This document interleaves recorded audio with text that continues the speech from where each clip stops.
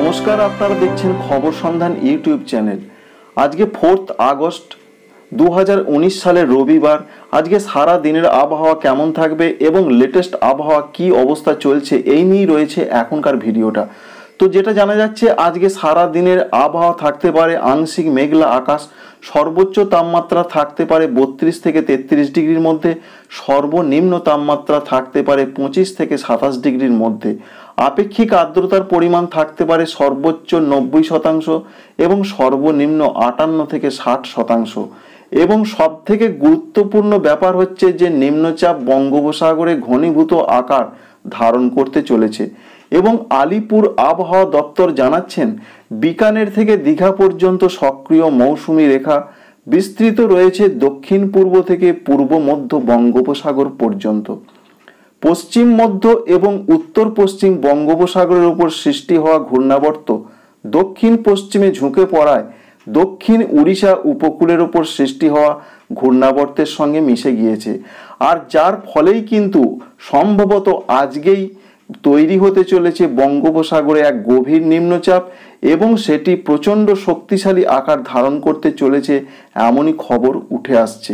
ফলে বাংলার উপকূল এলাকা তো বটেই কলকাতাতেও ভারী বৃষ্টিপাত হবে এমনই পূর্বাভাসে জানাচ্ছেন আলিপুর ওয়েদার অফিস। এবং যেটা খবর থেকে উঠে আসছে যে, আজকে রবিবার, আজকে বিকালের পর থেকেই এই ভারী বৃষ্টিপাতের সম্ভাবনার কথা উঠে আসছে।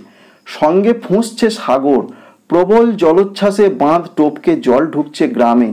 দীঘা, শঙ্করপুরে আতঙ্ক, সঙ্গে জারি হয়েছে সতর্কতা, মাইকিংও চলছে।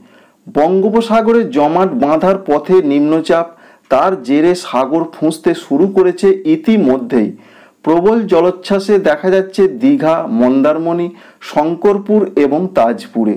এরই মধ্যে শঙ্করপুরে প্রবল জলোচ্ছ্বাসে বাঁধ ছাপিয়ে সমুদ্রের জল ঢুকে পড়ল গ্রামে। শঙ্করপুরের বেশ কয়েকটি গ্রামে বানভাসী অবস্থা ইতিমধ্যেই তৈরি হয়ে গেছে।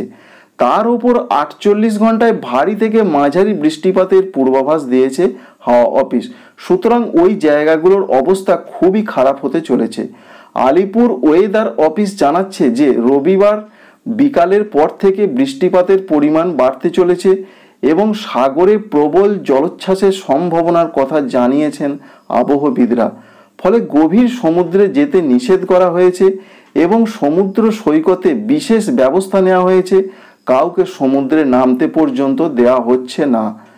অপ্রীতিকর ঘটনা এড়াতে মাইকিং থেকে শুরু করে নজরদারি পর্যন্ত চালানো হচ্ছে। এদিকে সমুদ্রের বাঁধ টপকে সমুদ্রের জল গ্রামে ঢুকে পড়ায় প্রচণ্ড ক্ষতির সম্মুখীন হয়েছেন এলাকাবাসী। শঙ্করপুরের সমুদ্র তীরবর্তী এলাকা বানভাসী রূপ নিয়েছে।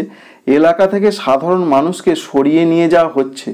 প্রশাসনের তরফে সমস্ত রকম ব্যবস্থা গ্রহণ করা হয়েছে।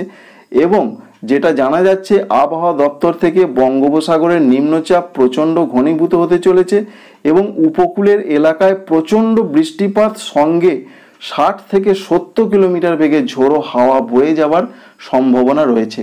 এই তো গেল উপকূল এলাকা এবং দক্ষিণবঙ্গে যেটা জানা যাচ্ছে যে পশ্চিমের জেলাগুলোতে প্রচণ্ড ভারী বৃষ্টিপাতের সম্ভাবনা রয়েছে, যেমন পুরুলিয়া, বাঁকুড়া ইত্যাদি এই সমস্ত জেলাগুলো।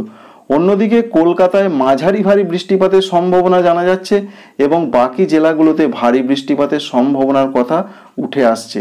সুতরাং এটা বোঝা যাচ্ছে যে নিম্নচাপের সৌজন্যে দক্ষিণবঙ্গে বৃষ্টিপাতের ঘাটতি অনেকটাই মিটতে চলেছে, এখনও পর্যন্ত যেটা খবর রয়েছে এবং দক্ষিণবঙ্গবাসী অনেকটাই স্বস্তি পাবেন বলে মনে করা হচ্ছে। তবে নিম্নচাপ যেন প্রবল ঘূর্ণিঝড়ের আকার না ধারণ করে, এটাই আমরা চাইব। দক্ষিণবঙ্গ ভিজু কিন্তু দক্ষিণবঙ্গ যেন ভেসে না যায়, এটাই হচ্ছে আমাদের প্রার্থনা। এই ছিল আজকের ভিডিওর মোটামুটি একটা আবহাওয়ার চিত্র যেটা আপনাদের সামনে আমি তুলে ধরার চেষ্টা করলাম।